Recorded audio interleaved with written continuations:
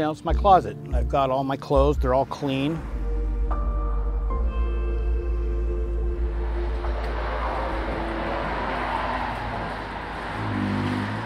Ralph Manning is home.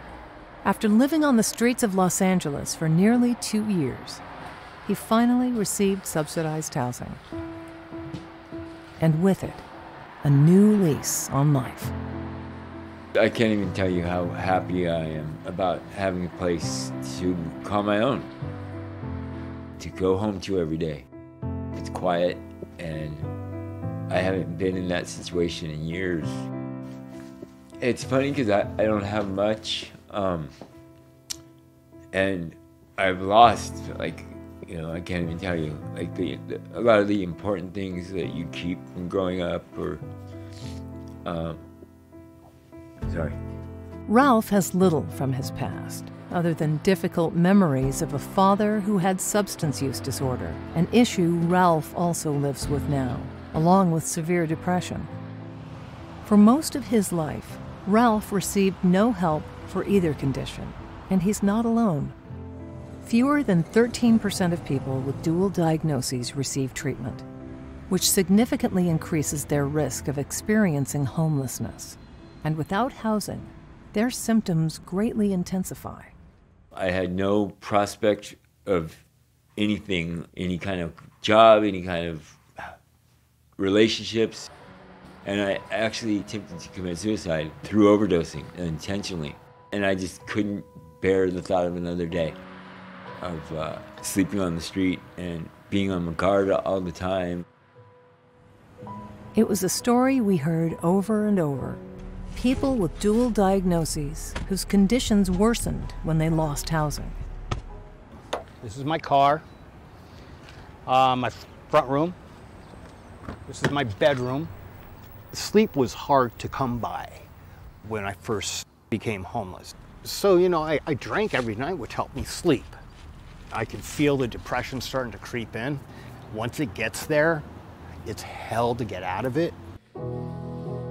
I felt like a piece of trash that's being thrown away and kicked out of hospitals.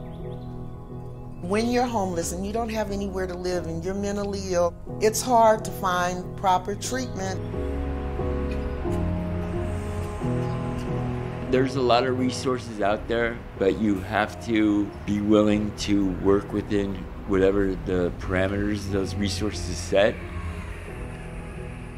The problem I see is that when you really need it, you're probably least willing to be able to work with those guidelines or rules.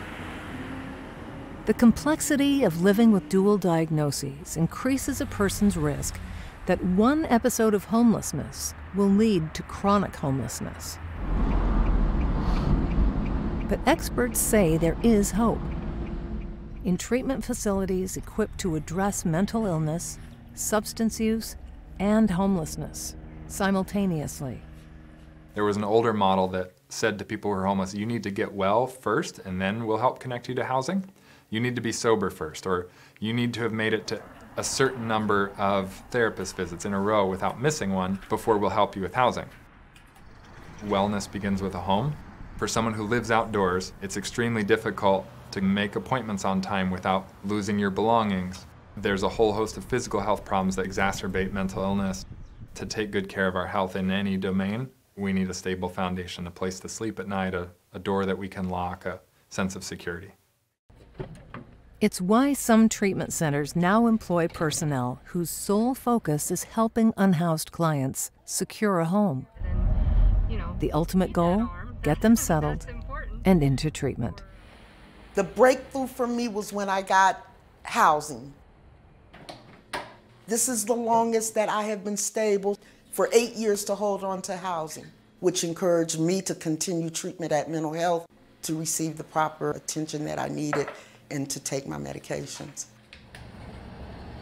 I'm housed now through the help of a gentleman who I met at Tarzana Treatment Center. He's a housing navigator who was working through them. Still, housing navigation is not universally available. And even if it were, there's a housing shortage. I have a counselor who's a coordinated entry system worker.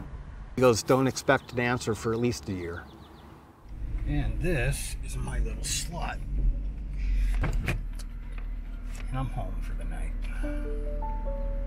Mentally, it starts really grating on you because it's like, when's this going to end? When is this going to end? For Ralph, homelessness has ended. And he says he feels lucky.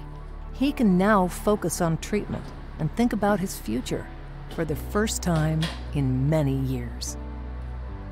Having a place to live has taken away a, a big part of why I feel like I use. With stable housing, it's just that that whole part of the equation is taken care of where it's, that is good. I want to go to school, I want to establish relationships with my family again. You can't do that if you're homeless. So I um, just can't tell you grateful I am.